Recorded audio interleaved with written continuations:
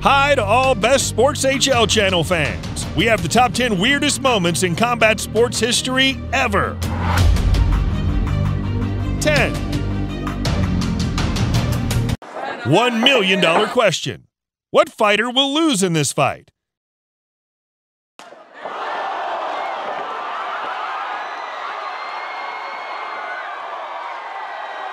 MMA fighter Alan Gray loses his prosthetic eye during a fight with Jose Johnston. It's a miracle the referee didn't stamp on the eye as the fight was being stopped.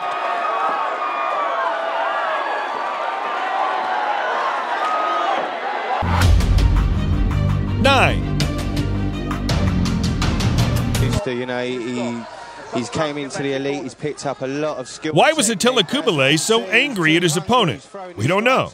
For some reason, Attila from the beginning of the fight was only trying to hurt his opponent. Triangle he was going for, but now see, this is what Balcat wants. He wants to fight on the mat. That's right. Richard taking side position. Attila does well to turn him. He has the arm cocked at the back. Richard turns in again. Does well. I mean, I know we mentioned earlier about the idea that it was striker versus grappler, but Uh, Attila's background is Vale Tudo as well, so very, very similar. Everything was over with an illegal knee and his disqualification. Off of his opponent, Grant actually had to restrain his restrain Attila to stop him from fighting. Attila's getting aggressive. Stupid behaviour by Attila here. Richard Balcat. Eight. After ugly cheap shots, something that you must love, MMA fail play moment of the decade.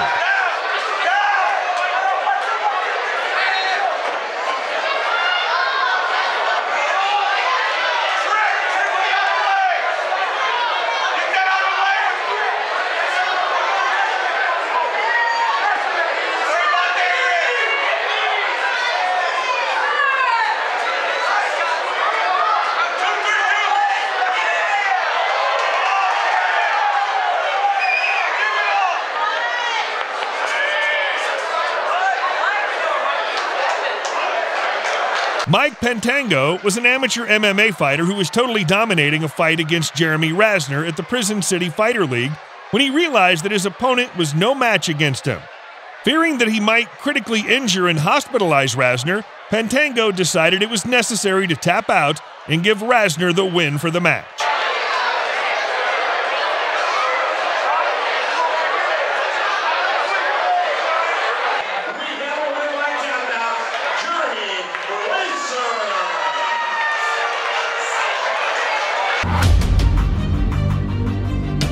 Seven.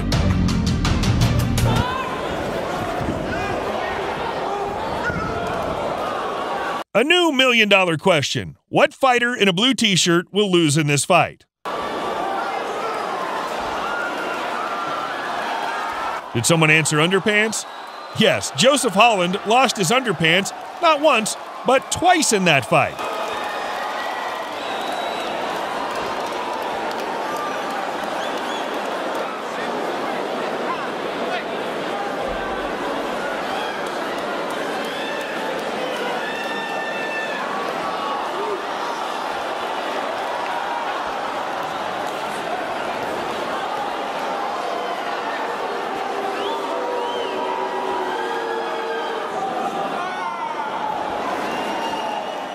Next fights and next losing stuffas. Fight number two, and the same question. What part of equipment will lose one of these two fighters?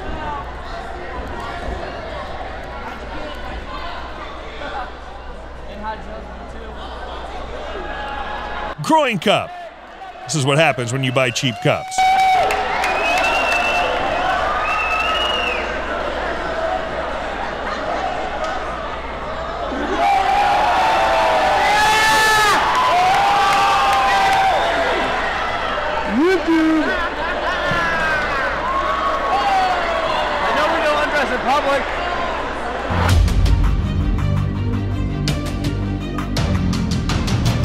Uppercut. Rocked him with that one and another one. Buentello's pouring it on here. Sokoudjou's badly hurt. Buentello's teeing off here. He's teeing off. Sokoju can't handle it. Another uppercut. Shimada's giving him every chance, every chance to recover here. And Buentello's on top, wailing away. more punches. More punches from Buentello. Somehow Sokoudjou survived. I can't believe Shimada didn't step in there. Soak him up, Sokoudjou. Three and a half left in the third and final round. That was a heavy left hand. Bomb City from Paul Buentello. If I was Buentello now, it's difficult to say I'd stand up and get Sokoudjou to stand up too. And, and and Grant, I can't understand. He didn't call a stoppage, and now he's standing him up. And This is an, an incredulous stand-up. Six. Back to 2015 on Abu Dhabi Warriors 3 event, Rameau Sokoudjou barely survived the rain of punches from Paul Buentello. Japanese referee Yuji Shimada didn't want to stop this fight, although it was clear that Sakuju can't continue with fighting. One-two by the big Texan. Sokoudjou is on wobbly legs. Rubber legs by Sokoudjou. Buentello in the corner. Uppercut again. Sokoudjou has... He's fallen out of the ring. Sokoudjou has fallen out of the ring. Sokoudjou, I can't believe they're not calling this fight. My God, he can't even move. I think he's, uh, he's, He's trying to get a breather, but my God, for the safety of the fighter. Buentello waving, the crowd's into it. They're on their feet cheering for the heavyweight. What a performance by this 41-year-old veteran.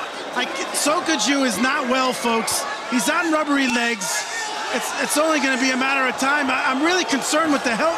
The, the, I'm really concerned for the health of Sokoudjou here. Another big shot by Buentello.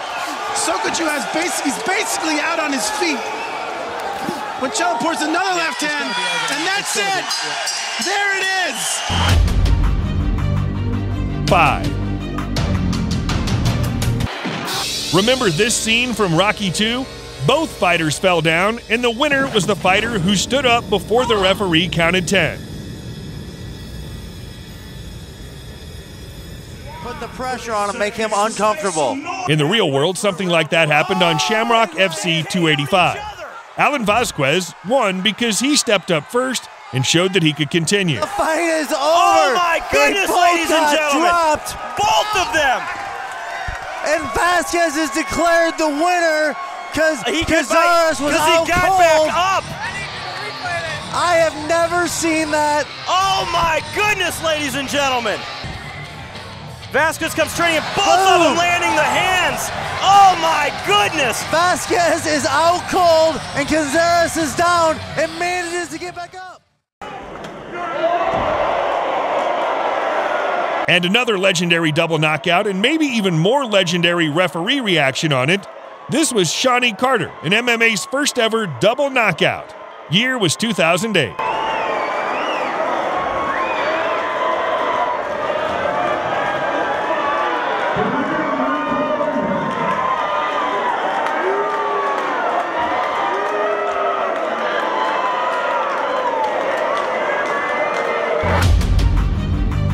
Four. We have a rain, small MMA event, and fighter Vaso Siho Bakachevic. That must be something unusual.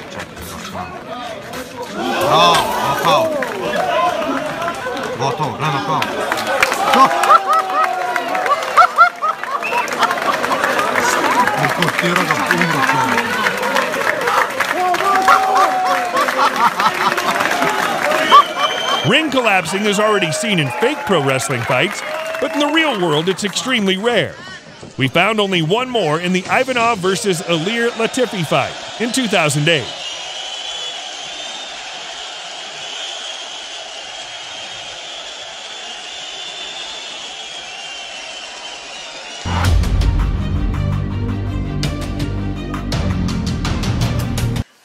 чемпионом из Хакасии монголом Олегом. Three, Kirill Tereshin, aka Popeye, was the bloke who became an overnight internet sensation for the simple fact that he's got abnormally large biceps. And no, it's not because he loves an arm sesh and a couple of protein shakes down at his local gym, it's because he injected petroleum jelly into them a few years back. Tereshin took on Russian blogger Oleg Mongol in an MMA fight in Russia, and to say things did not go well for Bazooka Arms, would be accurate, as he lost to Mongol via tap out. Ноги в печень. Не кидайся, Олег.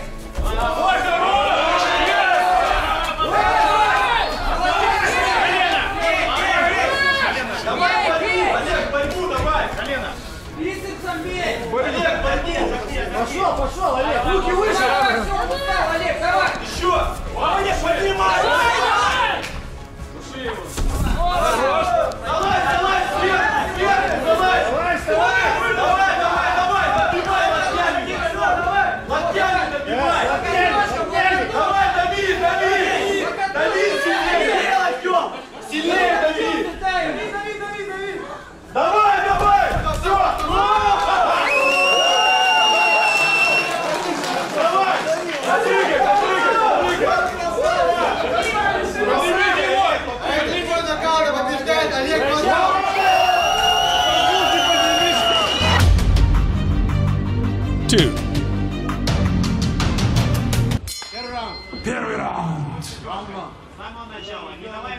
Renat Liadafov is the most unfortunate fighter ever.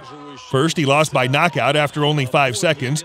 After that, in a dazed state, he attacked the referee and was choked out by him. Liadafov suffered a knockout and a guillotine choke submission in the first 20 seconds of this fight. Interesting. After that fight, Liadafov had a perfect MMA score, four fights and four wins.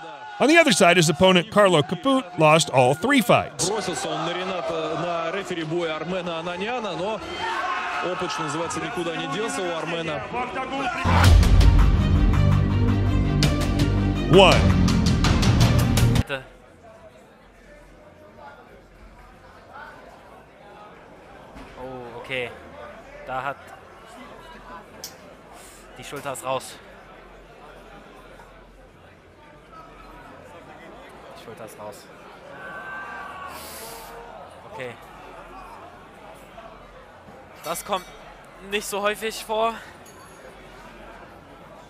Anscheinend hat er sich bei einem Overhand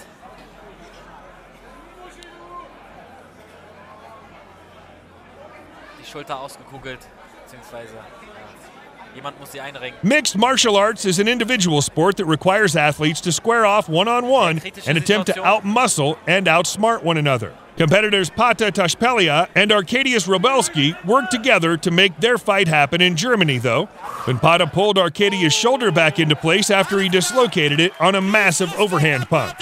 What's more impressive, the fact that Arkadiusz continued to fight, or that Pata gave him the opportunity to. The trainer didn't even get a chance to see the injury for himself for crying out loud. And that's all for now. If this video becomes popular, we'll create part two. Yes! Haha! Sehr schön! Schöne Aktion! Riesenrespekt an Pater.